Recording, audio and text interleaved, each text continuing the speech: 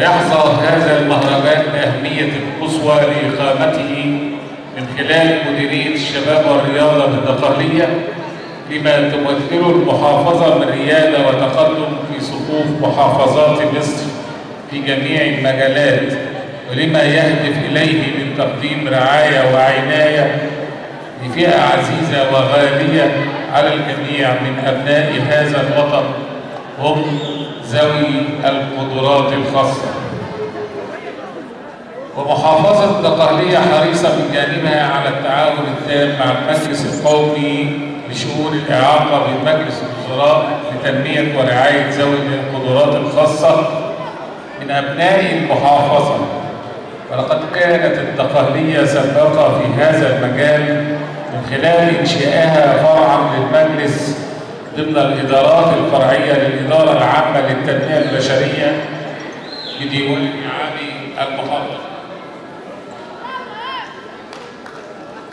ذوي القدرات الخاصة من أبناء المحافظة وتقوم المحافظة من جانبها بالتعاون مع رجال الأعمال وأهل الخير من أبناء المحافظة برصد مساعدات في صورة أجهزة تعويضية لهذه الفئة. واستمرارا لمنهج المحافظة في تقديم الدعم اللازم من أجل الرعاية والعناية بتلك الفئة.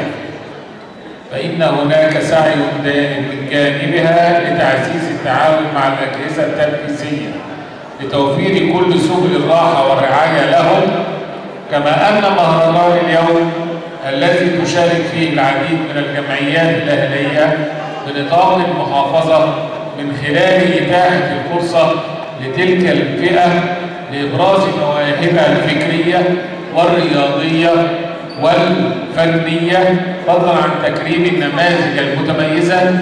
منهم هو تأكيد على الاهتمام البالغ من الأجهزة المختلفة للمحافظة ومؤسسات المجتمع المدني بهؤلاء الأبناء الأعزاء.